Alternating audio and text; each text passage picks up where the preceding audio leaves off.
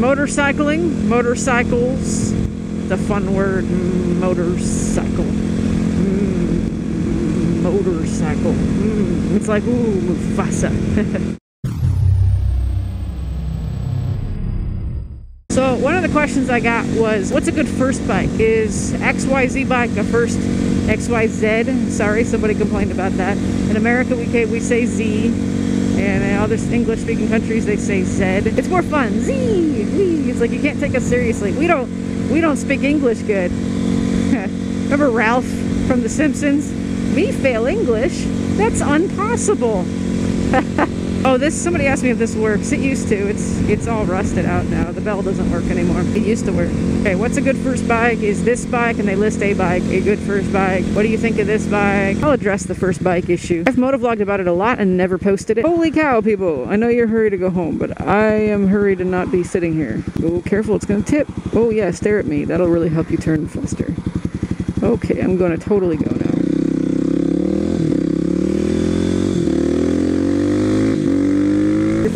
Bike, it really doesn't matter. Buy something cheap and has enough power to be safe to use, but not don't buy a super sport. I'd recommend against it because not not that it's not even about your maybe you grew up riding dirt and so you could probably handle it. Riding street still different than dirt. That gives you an, an, an edge and a very very real edge for sure. But still, the handling, the cornering, the braking dynamics are different. You'll understand quite a bit and you won't be scared of like a slight slide. You'll be less likely to accidentally high side because if it steps out a little bit, you won't freak out. I hate these tar snakes.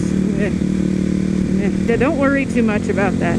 Get something that's inexpensive, easy to maintain, cheap to insure, because you're probably not going to stick with it. You're probably not going to want to keep it.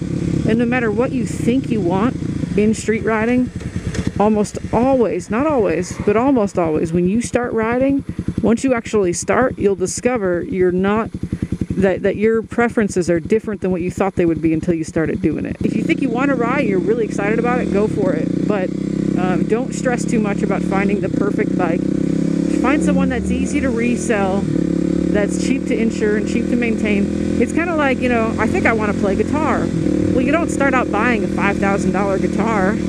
You buy something that's enjoyable to play, that fits you well, but that's not a million bucks in case you end up not liking it you know, it's it's a big investment. And look at insurance costs, especially if you're a single young male.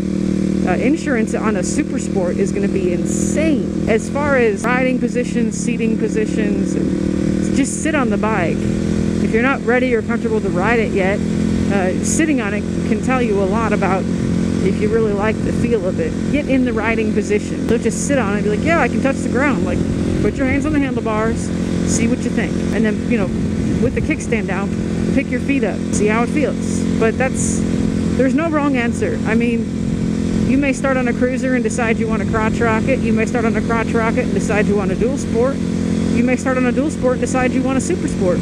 You don't know.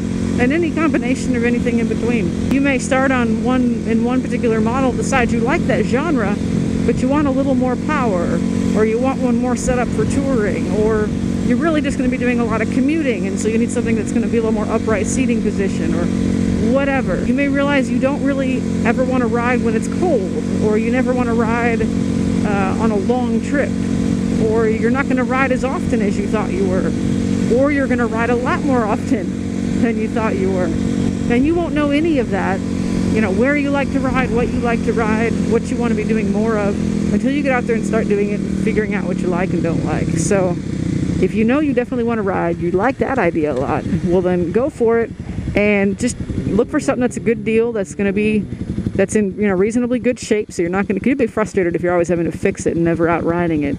That'll turn you off from riding pretty quick. So something that's mechanically sound easy to maintain cheap to insure don't really worry too much about what it is because i'm telling you you'll have fun no matter what honestly. I've ridden cruisers and dual sports and sport bikes and naked bikes, and, and I love it all. Supermoto is definitely my favorite. Why that's my only bike right now, it still is. It was the second bike I ever owned, and uh, it's the one I'm plan on hanging on to as long as I possibly can. Yeah, don't worry about it. Don't stress. But um, if you think you've got one you want, look up uh, look up what the service intervals are for it. Do some research. Look up service intervals. Look up resale values, and look up insurance rates And all of that may decide for you if you're going to want to get it or not. Don't spend a whole bunch of money on it uh, if it's your first bike.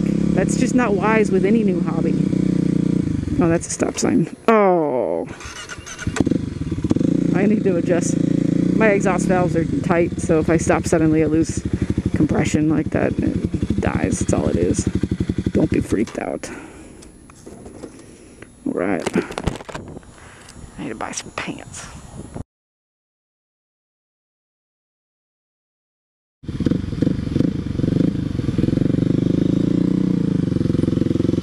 Ah!